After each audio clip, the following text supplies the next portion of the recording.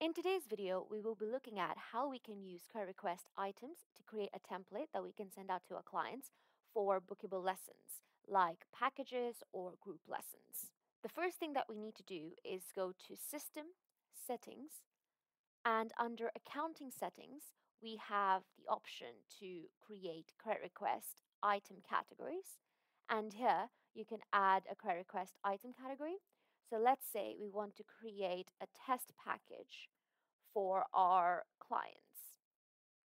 We add a brief description here. Let's say it's a 10 lesson test package.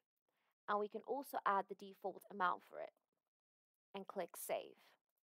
Now, once this category has been created, you can use it while you're raising your credit request. So for example, we go to draft credit request and we want to create a credit request for one of our clients for the test package. So we automatically choose this category and you'll see the information is automatically filled out here.